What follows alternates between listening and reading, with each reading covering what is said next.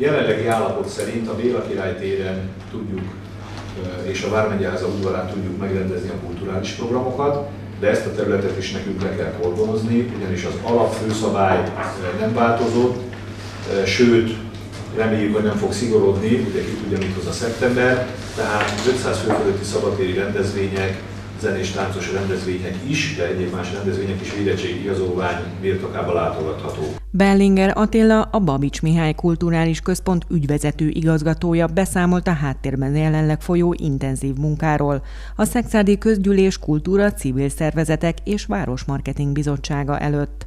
Elmondta, elkészült a biztonsági terv, ez alapján 5-6 ezer fővel tartható meg a Szexádi őszi fesztivál a Béla Király téren, amit a Szexádi szüreti napok helyett rendeznek meg szeptember közepén. Ezt idén más névvel és egy kicsit ugye szűkített tartalommal fogjuk megrendezni. Szexádi őszi fesztivál címmel szeptember 16 és 19-e között egy olyan négy napos programsorozatot állítunk össze a város lakosságának, amely azért koncertekkel, programokkal, neves fellépőkkel, gasztronómia és borkínálattal vissza tudja adni azt az érzést, mint a korábbi években.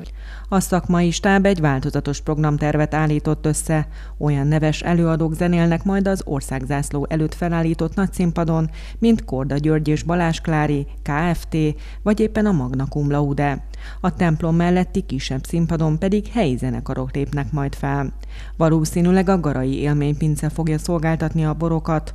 Az őszi fesztivállal párhuzamosan ugyanis a tavalyi évhez hasonlóan idén is megrendezik a szexádi borászatoknál a nyitott pincék programsorozatot.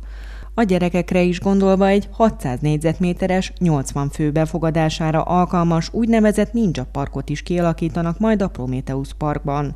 Itt a televíziós vetélkedőkből ismert sportolók részvételével zajlanak majd a versenyek.